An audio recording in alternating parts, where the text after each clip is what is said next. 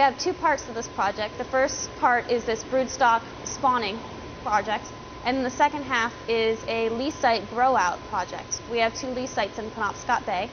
We put about 5,400 wild urchins in cages that we built ourselves to test if seeding and lease site, private lease sites, would be a method of bringing harvesters in the industry back into processing them.